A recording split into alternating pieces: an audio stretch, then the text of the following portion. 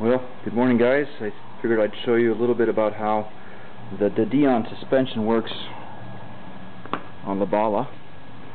I kind of have it apart now because I'm swapping the motor out and uh, I have a little clearance issue I noticed with my aluminum pan so what I did is I cranked the car up a little bit. Hold on just one second.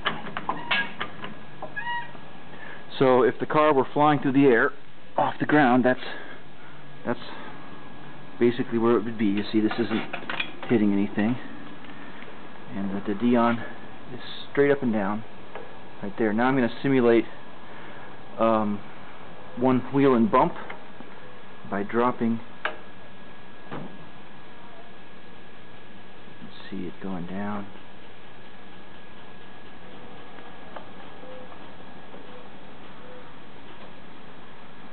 And basically now what I've got is one wheel in full bump and one wheel in full droop the other side. if you can see clearance at the bottom. Clearance the bottom on this side is a lot taller. And this push rod is his upright position.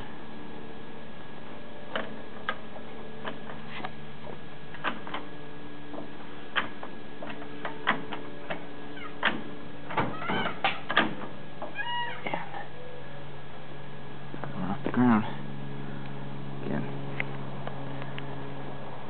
So it pivots on that center point right there.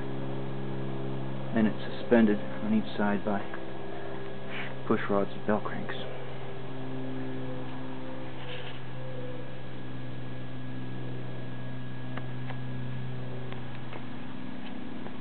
This car has about 5,000 miles on it and pretty hard ones